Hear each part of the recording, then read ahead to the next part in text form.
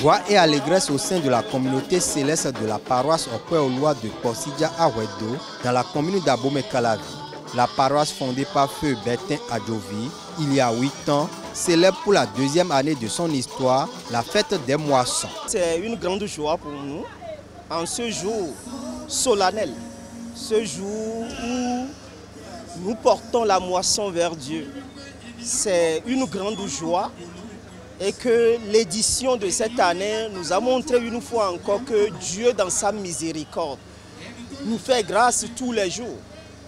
Et ce jour, j'ai parlé tout à l'heure que c'est un jour solennel parce que ça fait partie des sacrements de l'église du christianisme céleste et les pas que chaque chrétien chaque année doit franchir dans l'église du christianisme céleste. Chant, danse, adoration, louanges et prières. Les fidèles manifestent leur reconnaissance à Dieu pour sa grâce et ses bienfaits. Cette année, notre fête est placée sous le signe de la miséricorde de Dieu. Vous savez, sans la miséricorde, aucun membre, aucun humain ne peut accéder à la félicitation éternelle. Donc c'est la miséricorde cette année et que nous rendons grâce à Dieu. Que gloire, honneur, majesté, alléluia, soit rendue à Dieu, dans chauffant au plus haut des cieux. Alléluia. Après le culte, paroissiens et invités ont participé à la vente de charité organisée en de pareilles circonstances. Alors, on aussi en Hein? 15 000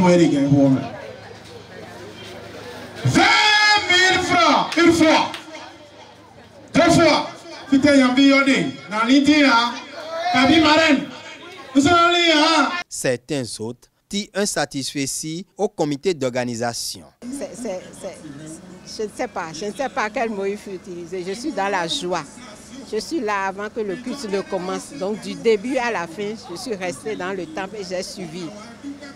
C'est différent de, de ce qui se passe dans les autres paroisses. Franchement, le conducteur et tout, tout, tout le reste, c'est extraordinaire. La fête était belle. Les gens étaient contents. La joie était là. Les gens sont descendus.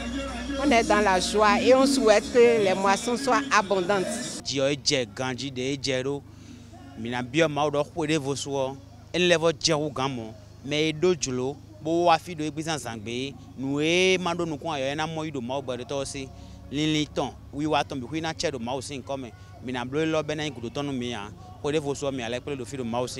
En attendant des témoignages sur les retombées de la fête des moissons 2023 à la paroisse aux lois de Kossidja, le chargé Michel Adjovi et son comité paroissial ont déjà les yeux tournés vers la prochaine édition.